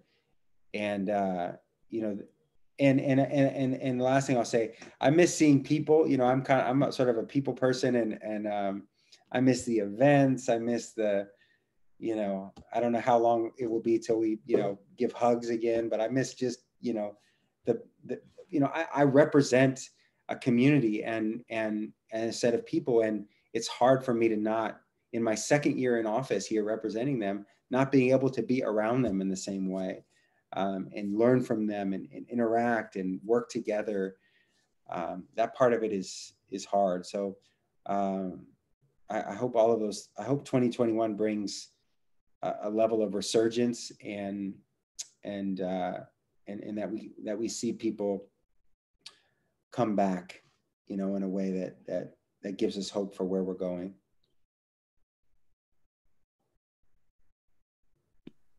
Yeah, it sounds like uh, I don't know if it's a rumor, but it sounds like we're gonna be locked down for a while, uh, going into even the new year. I think I thought I heard like 90 days or something like that. I'm not sure if it's true or not, but yeah. I don't, I don't, I don't know either. I mean, honestly, you know, it's funny th- this time period is so strange even for supervisors because sometimes people like businesses will call me or whatever and be like hey is there going to be another lockdown and i'm like I, I know this is hard hard to believe but i have no idea. Like they don't give us like this latest this latest lockdown that when we went to the you know shut down outdoor dining and all that stuff i found out on the day of just like everyone else. It, they, they, they, they, they called me that morning and said they were going to make the announcement and they called the other supervisors too. Um, so uh, we we are living in a very strange form of government right now where the people who have been elected in some ways are also like totally in the dark because the decision is made by the public health officer. Oh, and and the public health officer is whatever looking at whatever data wherever and then they're they're working with the other counties. And so they're sitting around with alameda and santa clara and everything and they're making a decision. They're talking to the state they're not talking to me right, right, right, right, right, so it's an interesting dynamic because it's like i'm also looking forward to going back to sort of more regular democracy um, where we actually have a say in these things. It's funny. I, I got my I got myself into some trouble yesterday on Twitter because I I I sort of jokingly shared uh, some information about the new public health order, which, as I understood it, uh, would allow would now allow allow people to date, but only if they're outdoors and only if they're wearing a mask. And so they wouldn't be able to kiss or anything anything like that. And so i, I shared this on twitter. All of these all of these people came and share and and from all over the country and they were attacking me and everything and saying this is so evil that you know you all are fascist and totalitarian society that and and i was like well first of all i was kind of sharing it because i thought it was pretty silly. Um, not because i supported it Secondly, I had nothing to do with creating these rules. I know it's hard to believe because I'm an elected part of the government, but I had no say in it. I mean, it's not right. something that I vote on or anything like that. They, those rules around what's shut down and when, I have no say in generally if it's a public health order, and and neither did the rest of the board of supervisors. Well, I would like to I would like to personally collaborate with you on something. I don't know what, but just collaborate, do something, and bring and yeah. bring the two communities together. I guess maybe we need to get Dean on here next yeah. yeah no, you see how John laughed? yeah. That's I my mean, guy. That's my guy. Yeah, yeah. It's funny. I um I lived in D5 uh, before I lived in D6. Oh uh, wow. Uh, I lived in D5 for probably about seven years. I was I was there for a while. Okay. Um, uh, I, first place I lived in San Francisco was here in D6, and then I lived in, in D5 for a while. Um, and that's also how I knew I know uh, Mayor Breed really well from, from that as well. We were uh, worked very closely together, um, and, uh, and and and and Director Davis as well um, was very involved in, in, in the community there. So, um, but uh, yeah, then I then I I was in the Tenderloin and um, uh, Sharon Hewitt. Uh, some folks may know Sharon Hewitt. Yeah, yeah. Sharon, yeah. Sharon Hewitt told me I had to run for supervisor, and forced me to do it, and told me that the Tenderloin was was the the place that most represented uh, sort of the diversity and and what made her hopeful about the city. And uh, I, I came to share that that as well. So she she lived it, when in her in her in her older years she lived on on uh, Taylor Street on Curran House, Eddy and Taylor, and uh, definitely. I, I definitely want to collaborate. I don't know what it's going to be, but I'll definitely reach out and, and figure something out because I know Yeah. you definitely have a very diverse community down there. And yeah, I would I love to. with Rudy Corpuz and all those folks down there, and yeah, Code Tenderloin and all them. So Yeah, no, and, and, definitely, Matt. You know, we just want to let the people know too, even with the challenges and the things that's going on financially with the pandemic and just the other stuff that's going on outside. There are still some amazing people doing amazing work in the community. And, you know, we, we don't want to let that go without seeing definitely um, the Human Rights Commu- Commission, what Cheryl Davis them is doing, a lot of the nonprofits. I'm out in the streets. People are getting fed, you know. And one thing I have to say with the leadership of the mayor, the supervisor of the city, our districts are getting food, they're getting COVID testing. So, you know, there is a level of urgency that is happening, and we just want to let the people know that it is things coming to the community. We're going to work better to get the communication to the community. There's some help and things that's happening. And um, there's some amazing individuals doing great things. So we just want to definitely keep that out there. And I know Matt, you part of it, and you show it in your action about being out there with the people. So just want to make sure that we keep that out there because I know some people we're in this gloom and doom moment, and a lot of people are, you know, anxiety and they just thinking that you know nobody's there to care about them. And I just want to let them know that our elected officials in San Francisco, I've been to other cities, they are doing the they are doing an amazing job making sure that people are getting something and helping out and making sure that it's going because it's some cities out there that I know is not doing so well at it. So we got to give our San Francisco elected officials uh, a round of applause, especially uh, you know what Cheryl Davis them is doing. They are making impact, and we are getting people getting resources to the community. And we just have to be patient and work together. But I definitely want to make sure that we focus on our seniors and our young people. And I know Matt, you've been on the school board um, with this Zoom school. Me and Rico work with a lot of youth. Um, some of our youth in the Black and Brown community are struggling with this uh, new education type. Um, you know, how close are we to getting something going with getting our kids back in school? They need the social experience. And I think a lot of the other parents in the community has been frustrated because a lot of the private schools are in the city. They are um, having their kids go to school while a lot of the black and brown uh, children are at Zoom school and the school district is closed down. How do we get the school district moving? Um, you know, I know this pandemic had, has hit everybody by surprise.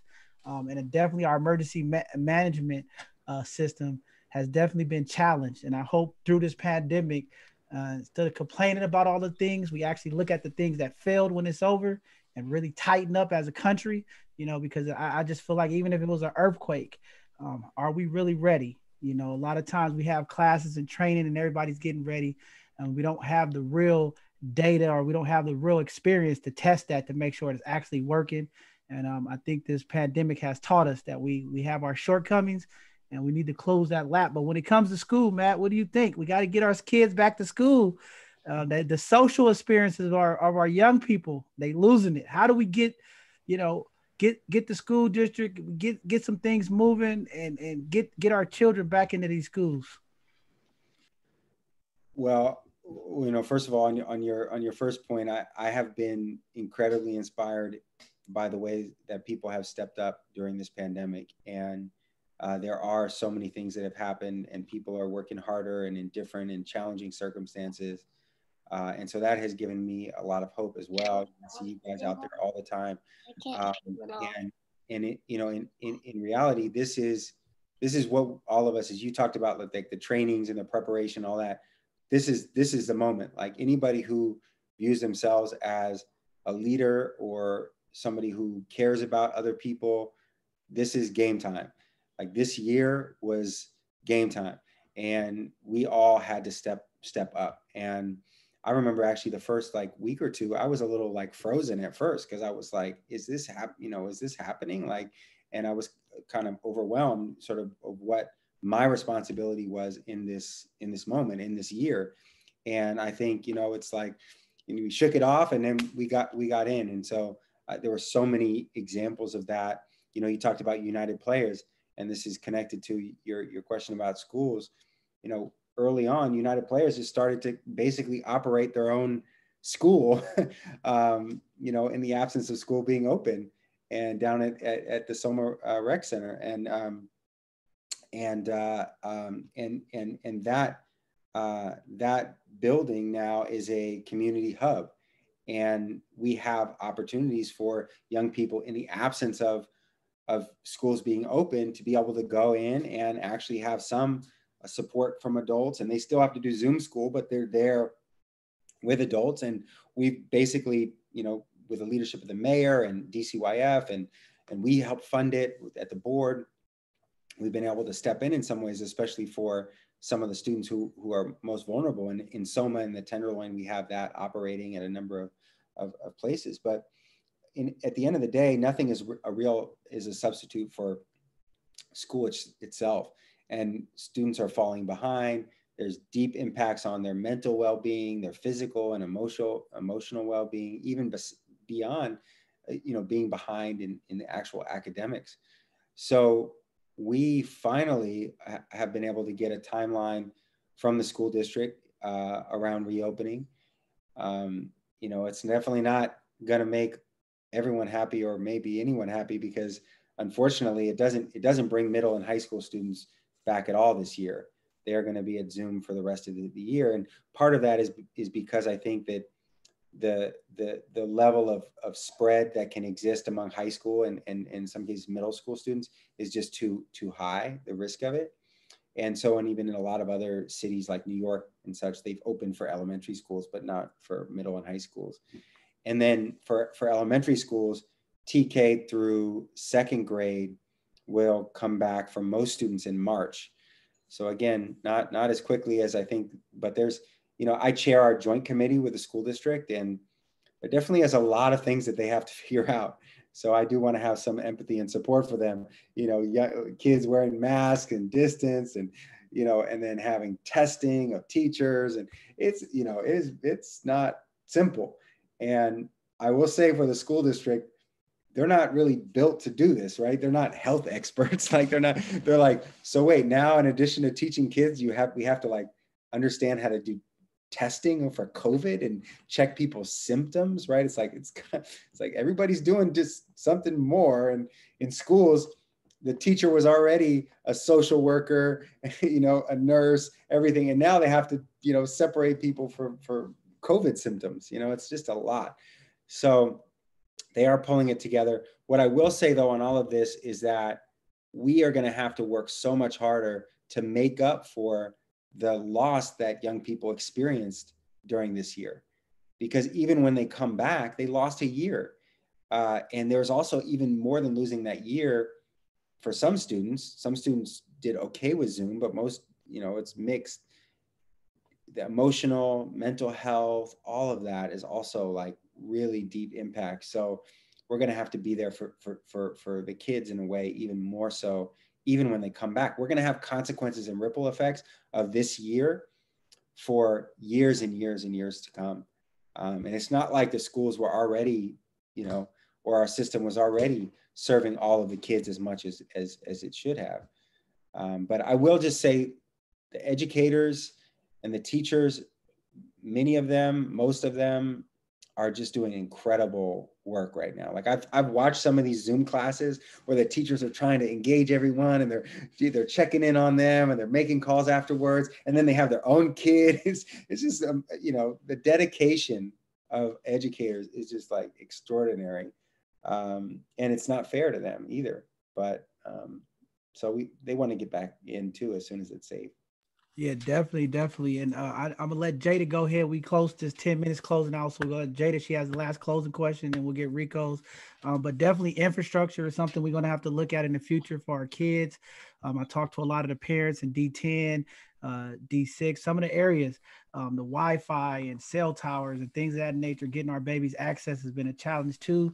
So I just hope that um, you know that's something that's thrown in to remember because a lot of people in these communities are stru- struggling with connectivity issues and, and having Wi-Fi and having those telecommunication uh, availability and access for them. So definitely, I want to make sure we we definitely when you're talking about that, think about that because I know some of the people in the community are definitely when you start getting up into the hills of Hunters Point and some of these other areas uh, the communication and, and, and, the cell towers and, and Wi-Fi is just poor for our young people. Yeah. Yeah, so with that, um, I don't have any further questions, and I know we're about four minutes away. Um, but I'll just say thank you. It's it's been great having you on, especially being a resident of D6.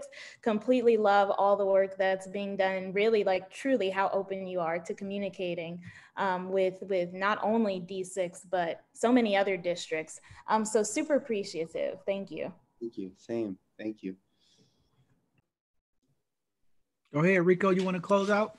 Yeah, I just want to say thank you once again uh, for coming out, showing your support to both sides of the conversation, and willing to answer all questions on both sides of the conversation.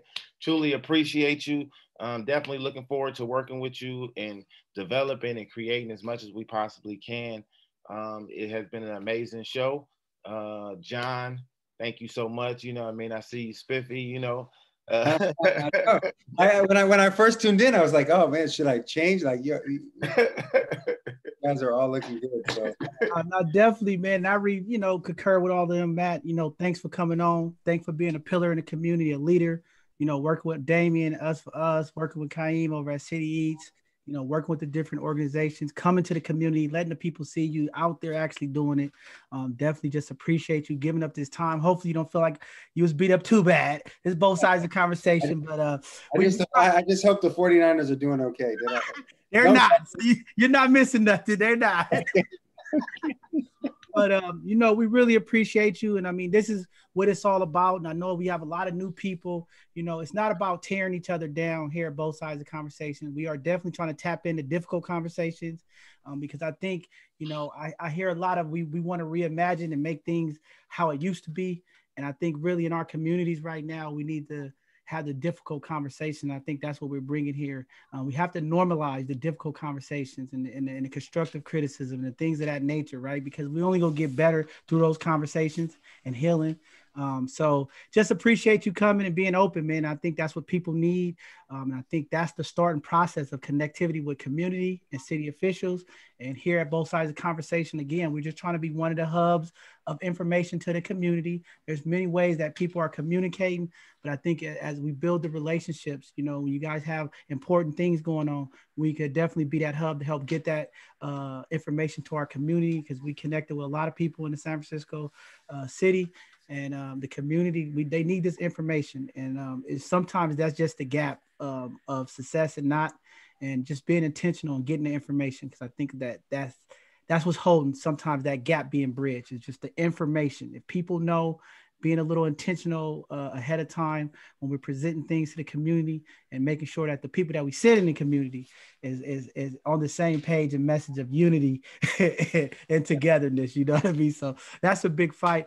But uh thank you again for coming on. Uh, you guys this was amazing conversation uh, with with uh, Matt Haney here from San Francisco Supervisor, doing amazing things. We just want to thank him again for coming on, upcoming here at both sides of the conversation. You guys know we're doing our three shows. We're moving. Things are happening.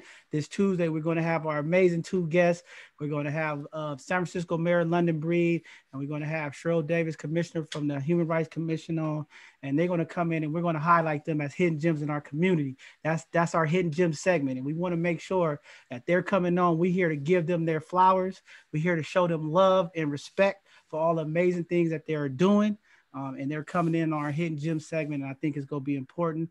Um, and, and, they'll give a uh, uh, have a time to talk directly to our community Um, so looking forward to that Tuesday. This Thursday, we have another educational pre- presentation coming in um, that's going to teach us some amazing things. And that's what we're just trying to provide here. All you professionals out there that want to educate the community, want to get involved and give back to the community.